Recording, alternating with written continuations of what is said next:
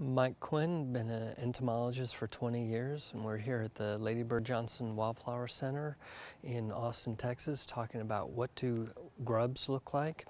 Grubs are basically uh, beetle larvae, and uh, some of the most common ones are um, what they call white grubs, and they're uh, C-shaped and um, about the size of my index finger, and they um, uh, typically find them in uh, in our lawns and they feed on uh, grass roots or they can be in compost piles helping to break down compost or they can be in um, dead logs uh, and, and so they uh, generally form a beneficial function but sometimes they um, feed on our the roots of our lawns and, and they can become a, a bit of a pest in that situation. But basically,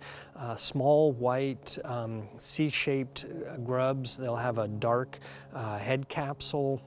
with their jaws on the end and then uh, three legs uh, and then the abdomen that uh, curls back around and that's uh, what a grub looks like.